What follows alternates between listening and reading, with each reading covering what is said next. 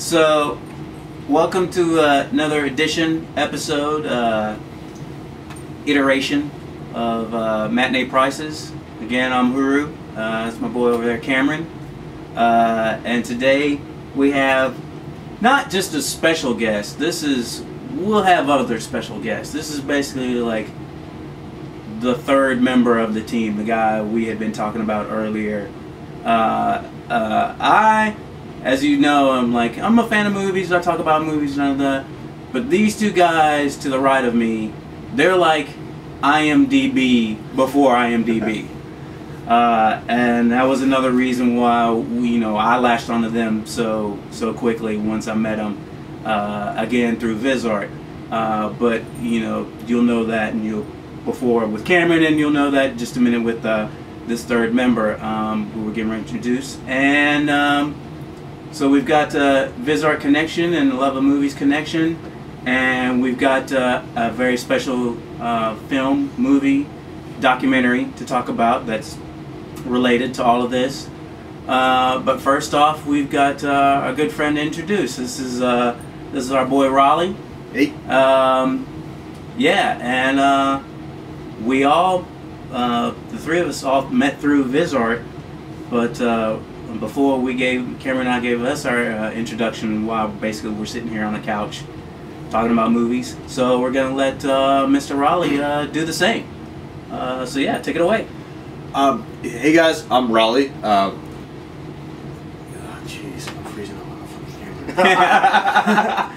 so, uh, uh, so um, what uh, do you remember? Uh, can you remember like the specific moment or like the first movie you saw where it changed you from just being like someone who watched movies to like someone who was like, okay, this is my thing. Like the first movie you saw as a kid, or like the first movie you remember seeing, or like that Oh, movie wow. that kind of changed Um, you. Yeah. It it probably goes back to Empire Strikes Back and you know being a young child in, in the movie theater and, and seeing that opening sequence and and, and just being completely awed uh, and then you know I mean that that probably started my love of movies. Empire Strikes Back it's still my favorite movie to this day. Um, but um, you know as a kid uh, we didn't have cable for a really long time. And uh, we would go to the video store like five times a week. And i would just pour through uh, the video store aisles and you know grab whatever cover looked cool. And uh, i didn't have those overprotective parents that that said oh that movie's rated r you can't see that. You know my dad would like foster my interest in horror films or classic films of you know you know black and white 1950s film noir stuff or especially sci-fi. You know um, that's pretty much where my love of films um, started. Um, as far as um, jeez. When did um when uh when did you start working at VisArt? Oh, geez, I started working at VisArt uh, after uh, being fired from a really crappy job. Uh, in about uh, what 07 I started working at VisArt. So you were there for the tail. You were there for the tail end. You saw the demise. Oh yeah, I saw the the demise of the the video uh, industry firsthand. I mean, I, I, I helped close five VisArt videos over my career there, and uh, you know that was very sad.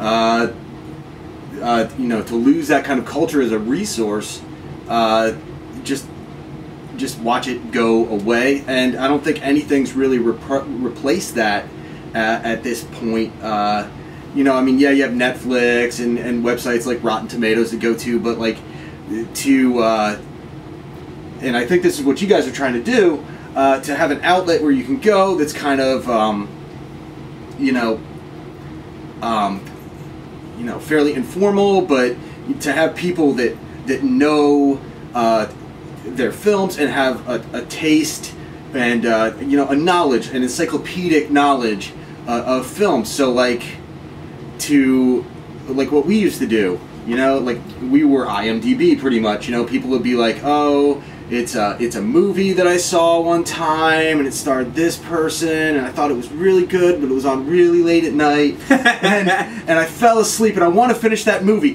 Can you tell me what that film is? You know, and, And we would figure it out. and we would it out. we would figure it out for him, Yeah. and uh, and then suggest you know five or ten other movies to go with it. Yeah. Uh, it was usually Silkwood. yeah. yeah, it's like, no, you're thinking of Silkwood.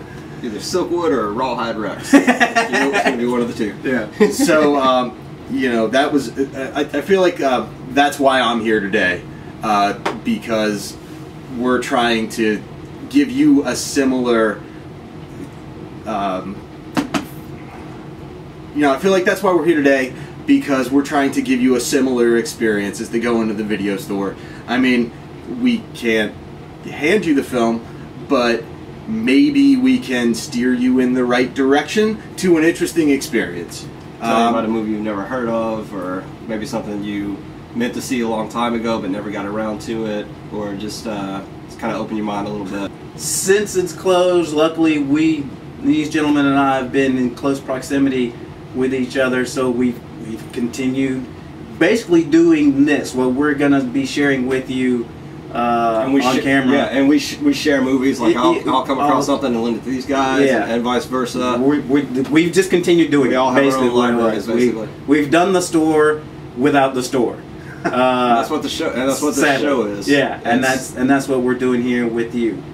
Uh, yeah, wh- where did I forget? Where did you come from before? Just before you hit, like, where did you move from? Uh, I moved from uh, Pennsylvania uh, in the the depths of the Pocono Mountains. That's- that's- how did you wind up from there to VisArt? um, I, you know, I, I had actually, um, I, I was a mailman and I hated my job. And I, a friend of mine had moved down here for college, and I moved down. Uh, I, you know, I, I came to visit him, Yeah. and I said, "This is a great town." And he took me to VisArt, and he showed me that, and he showed me the the Cat's Cradle, which is a, a local music venue that gets great acts sometimes, uh, and uh, a few other things in town. And I said, "You know what? I, I really I have to move here." And um, it just so happened, you know, I got a, a, a crappy job uh, just to pay the bills, uh, and I lost that job. Uh, and uh, you know, feeling sad, I said, "I'm going to go um, rent a movie," and. You know, I just inquired to the girl behind the counter, uh, a friend of ours, Laura. Now uh, I know, uh, and she gave me uh, a, an application, and on that application, uh, it, it asks you all about you know your favorite films and what films you've watched recently, and uh, I guess uh, that's uh, what impressed them. I will say this about VisArt, like um, working at VisArt and um, working there for years and years, and I, I actually did some of the hiring in the later years. I hire, was able to hire a couple of people, and I will say this, like nothing really on the application mattered except what are your three favorite movies and what are the last five movies you've seen. Right. You could you, you could say like, oh, I have nine felonies Yeah. You know, yeah. and I'm wanted in eight states. But if the but if your three favorite movies impressed us, Yeah. and the last five movies you saw were good, we'd be like, all right, well, this guy's wanted by the law for like drug trafficking, Yeah. but he's got fucking great taste in movies. Let's hire him right now. But like there for the end, once we hired, like the newest person that we had hired, once we had closed, had been there for two and a half years. So I mean, we're talking about a video store place with no benefits and low pay. But people like, would work there for years. We like the we, I was there till it closed. He was there till it closed. You We were all- there for forever. Like the people were still applying, but nobody had left. yeah. We we were just you know between the the love of movies and the people we were working with who we knew had love of mu- movies and different styles and we all Yeah. sort of overlapped and you know broke apart. And the one girl we we worked with you know loved nature documentaries to death. And right as the time when I'm like all right we're not throwing another one holy crap that's awesome. You know like she would throw it on. I'm like which one is that? Keep going. So that's these are people we we worked with every day and and it wasn't just a job because you didn't get paid very well at all but it, we love movies and we love talking about it and love watching it so that's that's why we're here and that's uh, why we brought in uh, Mr. Rollie, who you're going to be seeing a whole lot more um, Well, as we as we branch off Yeah. into other things and other places. We'll be going to different locations and doing stuff. Uh, but tonight we're going Yeah, let's, to let's get into it, man. Let's tonight we're talking channel. about the reason we we have all three Vizarders here and that sort of VisArt energy. The movie we're talking about today is a documentary called Z Channel, uh, which is it's basically what we're doing and what we're talking about. This is this is a uh, uh, channel that was in L.A. that played one of the first pay cable pay channels. cable channels that that played everything it could get its hands on. Uh, not just schlockiness, although there was a touch of that as well. They, they um, Z Channel, I'd say G- Z Channel um, made a lot of film geeks because you know the documentary itself. It's like the people that they interview are Alexander Payne and Quentin Tarantino and all these guys who like they weren't part of the film school revolution of the 70s and early 80s with like Spielberg and Scorsese, Right. but they're the kids who grew up watching those movies. they would be the the children of. Yeah. yeah, obviously not biologically, but and they they the next generation of. they found these movies and learned that they were film geeks because of the stuff that they were seeing on the Z channel. And it was essentially a little, just a little backstory before we get into the movie. Z channel was a uh, cable channel. It was specific to the Los Angeles area in California. But unlike um, like HBO or Cinemax, Z channel would show uncut foreign films in their entirety. They show, they would show the director's cut of Once Upon a Time in America, the director's cut of uh, The Leopard, you know, Das Boot. Das Boot. They would um, they would have retrospectives. They would do like an entire day where they would play nothing but Fellini films. If I could interject, I mean, uh, Please do. Uh, according uh, to this documentary and, and uh, uh, other accounts, uh, I believe we Wikipedia'd this before. Um, uh, the gentleman who uh, programs Z Channel, who the, the documentary is also about, Jerry Harvey.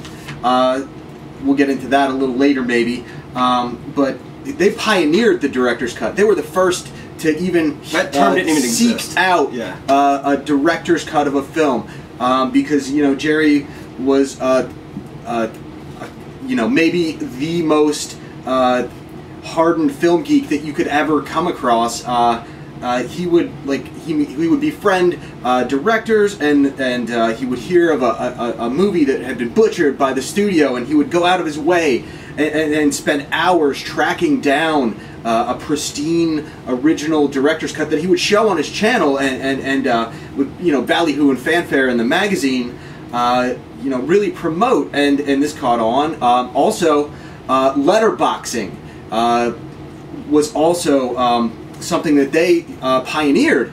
I mean can you imagine trying to watch like Ben Hur uh, the Charlton Heston one Or Lawrence of Arabia. or, or Lawrence of Arabia great movies on, on a shot little 70 square. TV. Uh, where they cut off you're missing literally like 30 or 40 percent of the movie just so they could crop it to make your fit your tv screens but z channel like with director's cut they were like if you're not seeing the entire movie the way the director intended then what's the freaking point What's the point? and um, so like i said they kind of birthed film geeks they like they were they had their specific audience and, And um, and remember, we're talking about uh, the bulk of these movies were either not released or barely released. You And- know, seen yeah. in like maybe L.A. and New York. That would be. You'd it. have to go to an art house theater, or you had, or you were in Europe and you caught like a Fellini retrospective or something. You know, But, so you um, had a, a town's worth of people who Yeah. have seen who've seen And this- said, and- said movie, and we're talking about it. before video stores even existed you know like you know and by the you know 80s and 90s you could you know go to the video store and rent these things but in the late 70s the like a video store wasn't even a thing No. so um, early '80s. your options for seeing a movie were what they showed at your local theater or what they showed on TV but it's not like you were going to see you know the the 10 hour director's cut of Das Boot on TV they, they didn't like they you wouldn't even see that in a theater No.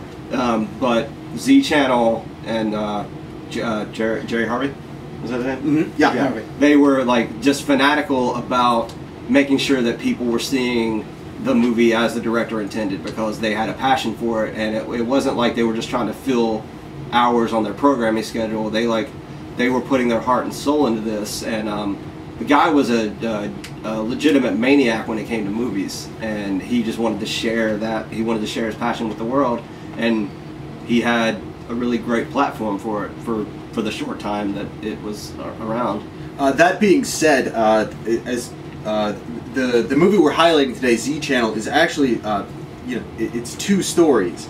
It's it's a horrible. Uh, you know, Cameron said that he was a maniac uh, when it came to movies, but he was actually a maniac in real life too. yeah like Very he was uh, legitimately so- crazy. We're, we're talking about the uh, the the um, the happy, uh, you know, brilliant part of Z Channel that inspired so many people, uh, and unfortunately, um, Jerry Harvey was a very troubled man uh, who eventually uh, murdered his wife and uh, then committed suicide, uh, and uh, that's a a big part of the documentary that Yeah, we're, we're highlighting, and, and, and I think that we can't uh, forget about that. Although, um, what we really like about this documentary is how many movies that we haven't seen that this documentary about this channel has shown us. Uh, I'm seeking out some movies that I've, I've never even heard of before because I watched this movie, and and you know that this channel through a documentary. I, I you know I wasn't in LA in the early '80s at all, uh, and I'd never heard about this, uh, but you know, I mean, for instance, I'd never even heard of Paul Verhoeven's Turkish Delight before, but it looks fantastic and perverted, and I really want to see it. I'm sorry. I'm hearing Bell I'm like I'm hearing you talk about movies passionately, and then I'm hearing Bell Biv DeVoe. My bad. So, so that's but that's this show. Um, Um, you know, I mean, he yeah he like yeah. I mean the, you, we you really can't say enough about this movie, and and we can't like say a specific thing that's going to make you want to see this movie. It's like at this point, if you haven't seen this movie, if if you're watching this show and you enjoy what we're talking about, you need to see this movie or you've already seen it.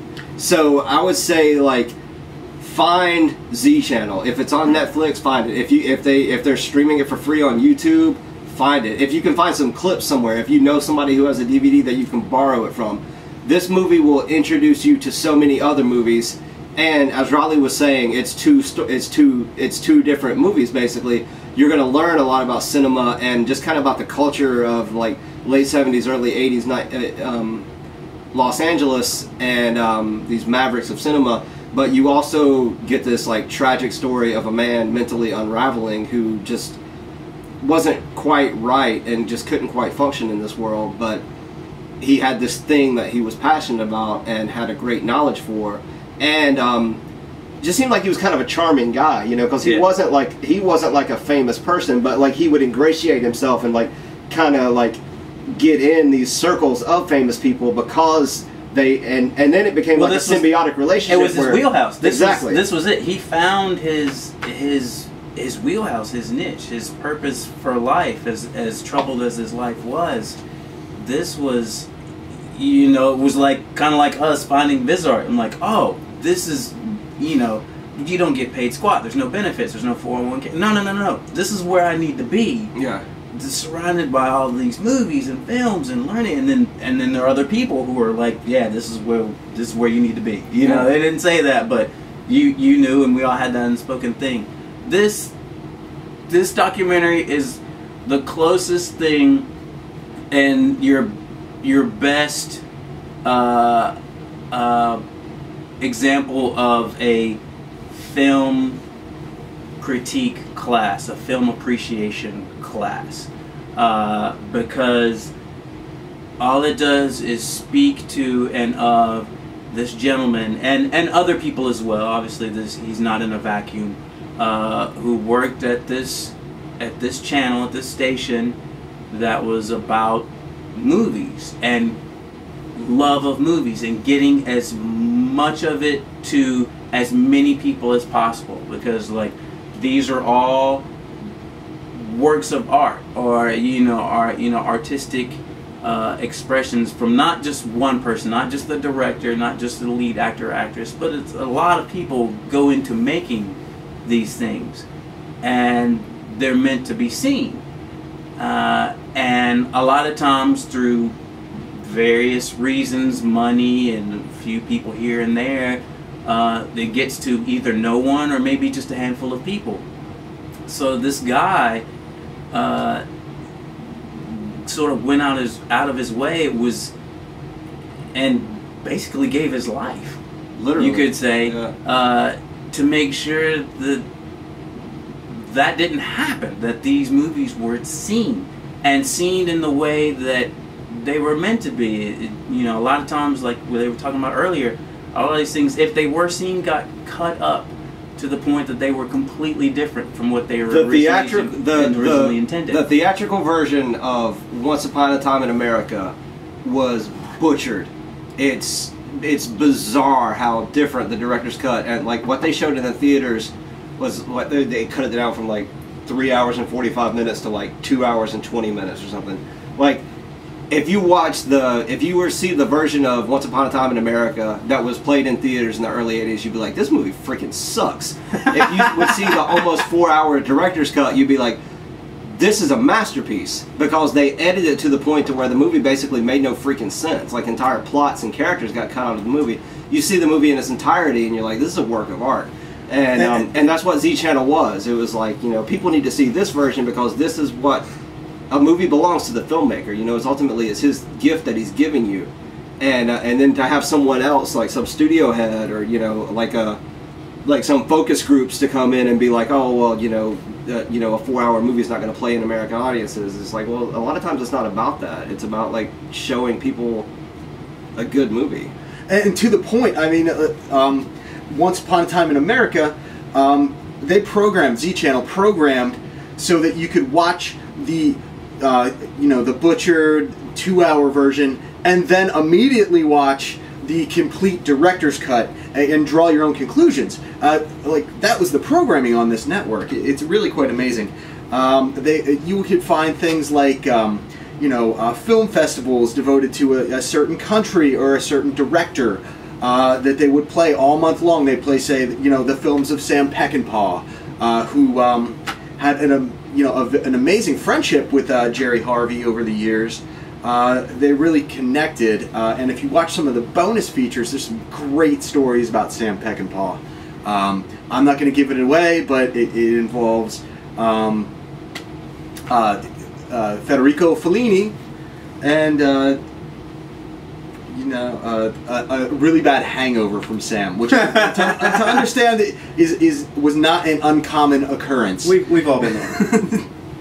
So, um, you know, I mean, if, if you were one of the lucky people that were in the area, and, um, you know, I mean, people that, and, uh, you know, directors and actors, uh, for instance, Quentin Tarantino said that he couldn't get Z Channel when he was a kid, but he, uh, you know, like kind of like we are, uh, you know, we're learning about it because people had taped off of, of, uh, of that channel, and if you wanted to see a, Mel and the tapes. and uh, you know th- they had the tapes at, at the video store that he worked at and uh, of the stuff that uh, it's actually on the screen right now We're watching it behind Yeah, yeah. filming for inspiration. It's on right now. but uh, you know in this documentary you have you know great directors uh, like paul verhoeven talks about how it, uh, you know z channel really helped his career by getting his movie shown and you know i mean if it wasn't for z channel we might not have had robocop Or, Showgirls.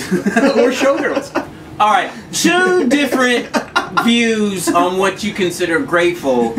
Um, I'm a little more grateful for RoboCop than I am for I think, every, I think everyone is. well, but you know, Showgirls is it, it has its place. It's, Yeah. it's still a film, and a lot of people, you know, just like any other movie, a lot of people who go into making those things, and uh, and you learn to appreciate that, if nothing else.